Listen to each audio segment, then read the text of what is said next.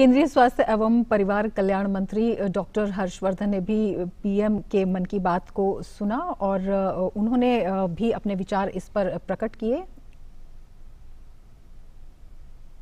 समाज के लोग अपना रेडियो लेकर टेलीविज़न लेकर उसके सामने 50, 100, 200, 500, हज़ार दो हज़ार लोग इकट्ठा होते हैं और बड़े हृदय और मन से प्रेम से प्रधानमंत्री मोदी जी के मन से निकले हुए उद्गार सुनते हैं। उन्होंने उल्लेख किया है कि अमरनाथ के यात्रियों के बारे में उन्होंने उल्लेख किया है चार धाम के यात्रियों के बारे में, वहाँ पर हुई बेहतरीन व्यवस्थाओं के बारे में और कश्मीर में सब प्रकार की सेवाएँ उनके घर तक, उनकी पंचायत तक सारे बड़े से बड़े अधिकारी के माध्यम से उनको पहुँचा दिया गया है। बहुत सारी अच्छी अच्छी चीज़ों का प्रधानमंत्री जी ने उल्लेख किया है।